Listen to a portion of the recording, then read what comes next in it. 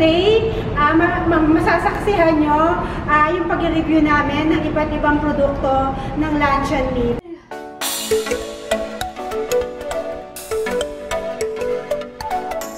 Ah, previous vlog namin, meron kaming special guest.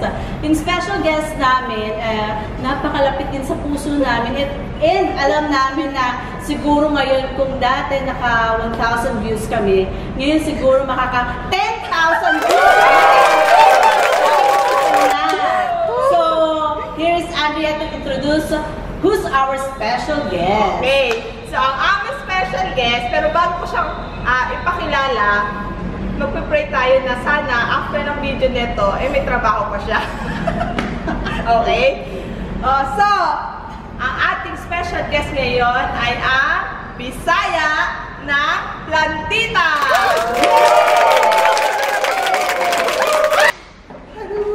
Good afternoon, Miss Dali. Tutulungan kami ni Miss Dali kung paano namin re-reviewin yung lasa ng iba't ibang ah, produkto o brand ng luncheon meat. Uy, umpisahan na yan. Let's start! Ano, ano, ano na-expect mo? Akala mo chicken wings? Akala ko sabi nila, chi- chicken wings. Akala ko pagkatapos nito may pakpak na. Wala na kayong Wala budget, no? Mga bulati lang to. Ang gross! Ano ba yan? sorry, sorry.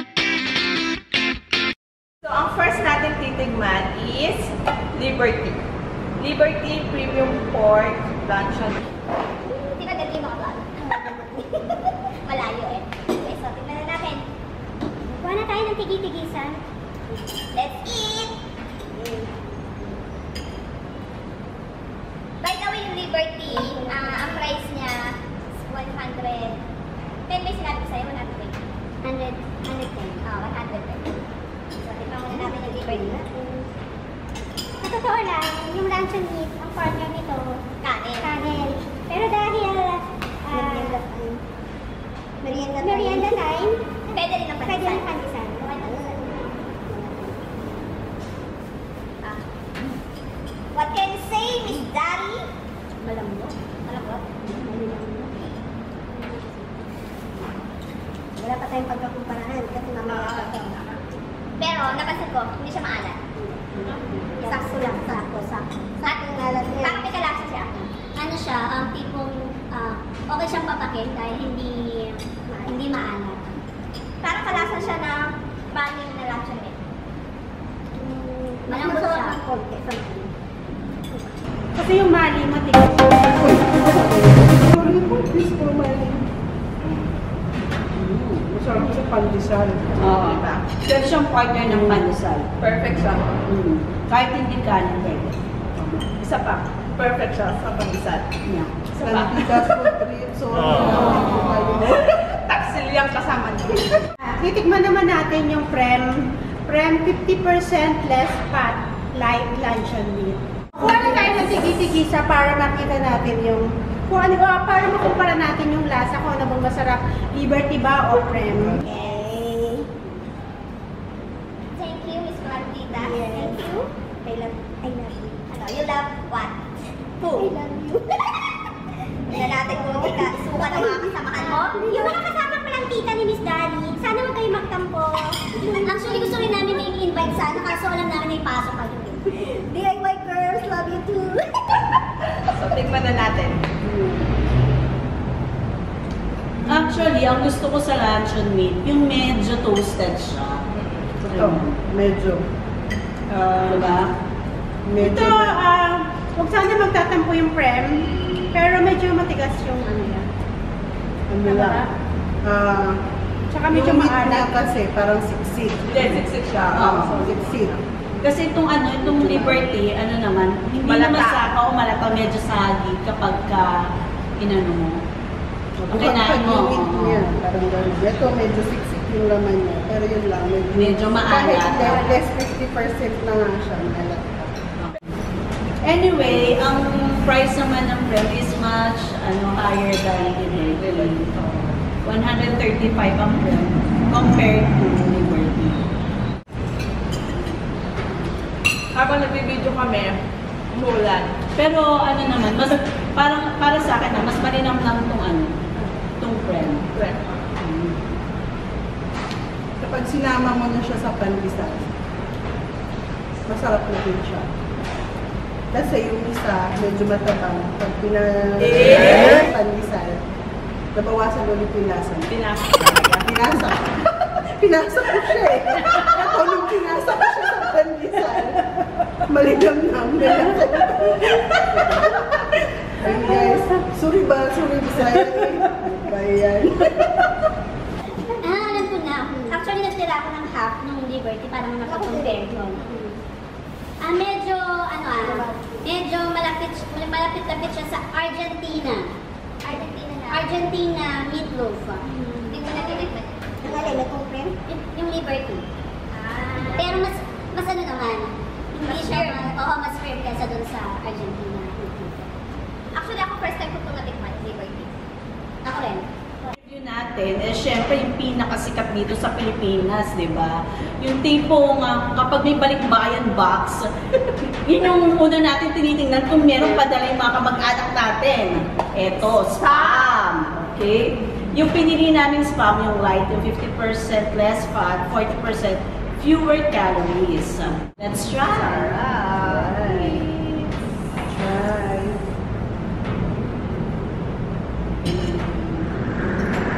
Actually, ito breakfast ko kanina sa pa. Sa mga viewers namin, siguro naman aware na kayo or nalasahan nyo na yung spam. Kung ano man yung reviews na maririnig nyo sa amin, yun yung para sa review namin para sa Honest spam. Honest review namin para sa spam. So, ginagalang naman namin kung ano yung lasa nyo or, or kung ano yung review nyo para dun sa spam. Actually ako, pag nagluluto kami ng spam, um, medyo thin slices kami. Hindi kami mahilig dun sa makapal. Kasi nga medyo medyo maalat ang spam. Actually, a- ano, Kala ko medyo mahal. kasi ano yung 50%, 50% of Yeah. 50% less Less, uh, ano, less soju. soju. So, hindi pa talaga siya yung sobrang alat. Di ba yung isa kasing spam na walang light? Yun yung ang alat talaga niya. Ito maalat dito. Parang itong cream. No? Pero actually, hindi nagkakalayo yung lasa ng spam at bread. Kaya, Halos parang walang pinagkain. kung namamahala kayo sa spam, May option sila. good choice yung prep.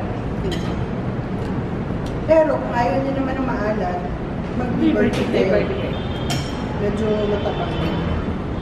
Although ang Prem and Spam is ano, both a product of USA. So, meron ng... Pero ewan ko, bakit kaya hindi ano, no? Bakit lagi ang spam yung pinapadala ng mga kamag-anak natin? Meron naman pala ibang... Kaya pala ibang Hindi, mura lang to sa US, kaya yun ang pinapadala Oo nila. nga, baka nga. Oo nga, kasi nagsisale siya. Mm. Nagsisale siya. Kaya kung healthy conscious kayo at ayaw nyo ng maalat, ah, liberty na lang. Gawang Pinoy po yan, kaya sabi Ikaw, ko, Liberty? oh, Philippine Prada. Ayan, oh.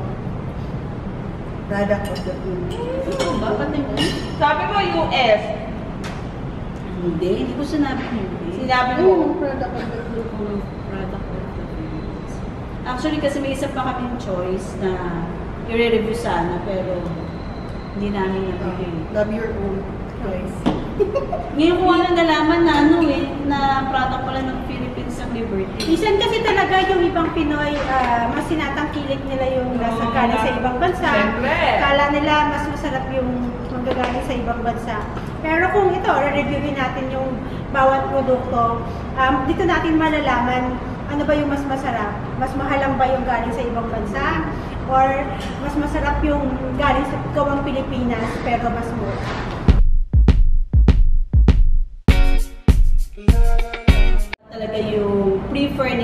Luncheon meat. Sa lasa and sa tingin ninyo eh, yung quality talaga ng luncheon meat. gusto mo. Oo.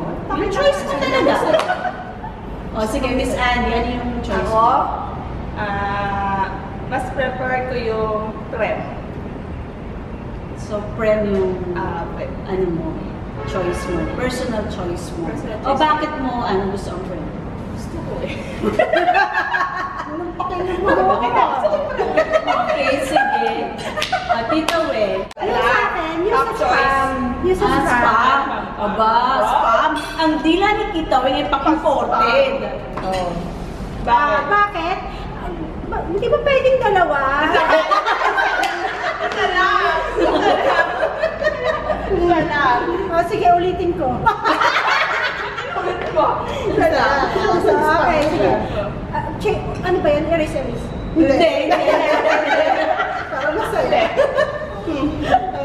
Okay, sige, go. Ah, dahil ano, ngayon, dahil pandemic, Bakit talaga bakit talaga gusto mo? tight yung budget, Kaya, liberty na lang. Hindi. Ano talaga kayo spam yan? Ang gusto niya talaga spam. Ah, iba naman. Ay, hindi ako muna kasi ang guest namin si Miss Lalo. So, siya yung last na ano, mag okay. Ako talaga, yung gusto ko is, ah, ano, ah, actually ako talaga spam. Kasi talagang, yun talaga yung ano eh, yung nakasanayan. Pero, pero, eto nga, dahil nga, spam nga, spam, spam ako.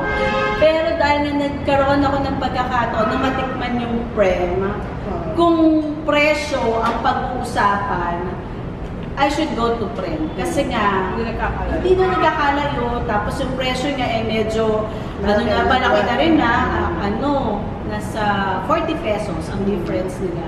Ayan, it's Dallas turn, It's- Cantitas girl. Bisaya, Bisaya at Ako naman, dahil Bisaya ako, wala kami balikbayan, box baray.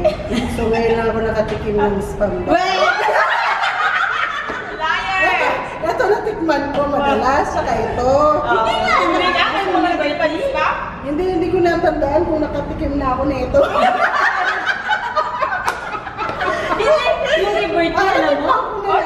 liberty? Ah, di ba yung sa binigay ko na ano? Ako nga yung mga nilaman to. Binigay ko na basil na pinagtaniman ni Ah, nanay na ano sa inyo. Yan sabi ni Miss Teo, yun. So, pinakamasarap talaga, ito. Spam. Spam. Yun ang masarap. Pero yan, madalas kong binibili yan. So, ito Eh, saan mo natikman yung prem? Bumili din ako sa SNR. So, tapos na natin i-review yung tatlong ah, iba't ibang klase ng luncheon meat. So, ngayon,